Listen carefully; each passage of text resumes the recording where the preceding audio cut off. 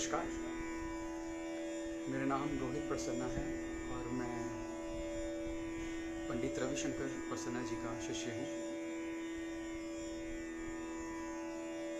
Performance शुरू करने से पहले मैं सबसे पहले तो प्रतीक नरसिम्हा का धन्यवाद करना चाहूँगा, जिन्होंने मुझे भैरवी सभा में बजाने का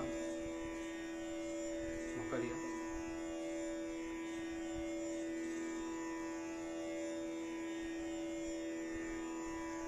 राग वृंदावनी सारंग बजाने की कोशिश कर रहा हूँ।